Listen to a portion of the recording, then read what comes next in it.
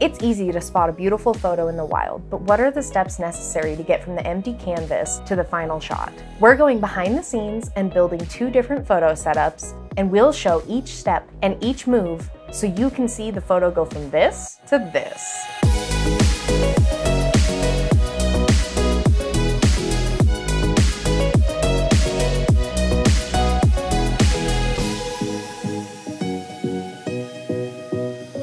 Hey guys, Tanya of Replica Surfaces here. Going behind the scenes feels super special. Whether it's watching special, never before seen footage at the end of a movie, sneaking backstage at a concert, or stepping on the set of a professional photo shoot. Seeing the magic behind the camera is important, and there's a reason it feels so special. In this video, I'll show you how we put together these two photo setups from the blank surface all the way to the final product. So let's get the ball rolling. Let's take a look at the final scene before we wipe it clean and start fresh. This first photo is featuring the smoke surface, and my good friend Beatbox Portraits shot this awesome behind the scenes of her building this nice little cookie tea scene. Very high society. The first thing, I love the smoke surface. Having just a neutral gray is such an excellent option, and the nice etching is almost like watercolor on the smoke surface. This floral platter doesn't take any shine away from the smoke surface, and actually I think the smoke surface helps enhance the florals in here and makes them a bit more vibrant and beautiful.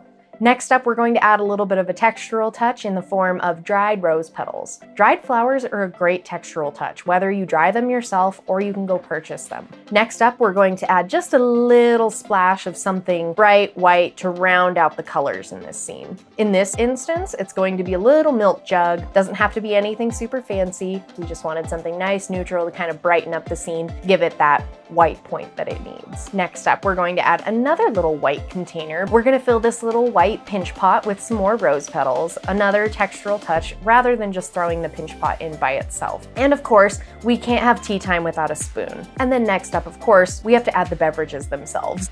I want you to notice how the milk jug is pointed in line with the spoon. So that way your eye knows to follow that direction up through the scene. And the glasses are in line with each other, so you kind of create an angle. It's not a perfect right angle. Ever so slightly off, absolutely perfect though. Another fun thing I love about the glasses and the beverages that we added here are the little crescent moons on top of the beverages from the rose petals. Another excellent C shape within your scene. Last but not least, we have to add some cookies, jam, and some flowers, just for an additional floral touch. One thing I want you to look at at these cookies is that we easily could have just thrown them all in whole, and it probably would have looked just fine. But with the addition of a cookie that has a bite taken out of it, one that has some jam on the top of it, we have a ton of different things to look at throughout this scene now. And you get to have a snack in the process, which is what matters the most snack time. And there you have it. We've got our fully built scene. We went from a scene with a simple platter on it to this beautifully styled high society tea time in these beautiful beverage glasses. Oh, just absolute perfection. We're going to work a little backwards with this one. Instead of starting with the completely blank canvas, we're gonna start with the completely built scene and we're going to take pieces away from it. We have this gorgeous spread of these cinnamon buns by none other than the lovely Beatbox Portraits because she is just amazing. The first thing I want you to look at in this final scene are these accent props, namely the spoon and the little placemat and coffee lid container at the very top. While these don't necessarily have anything to do with cinnamon buns directly, these just add extra visual interest and some nice shapes and some lines to help guide your eyes through the scene. Now, let's take those away. This scene looks really good still, don't get me wrong, but these scenes feel a little empty. What I love here is the ingredients in the shot. We have a bowl of icing on the lower left, and right below that we have a bowl of brown sugar. Another beautiful touch here is the little tiny spoon inside of the brown sugar. If you can find any antique silverware like this, I highly suggest scooping it up. Antique props like this never go out of style. We take a few more things away from this scene.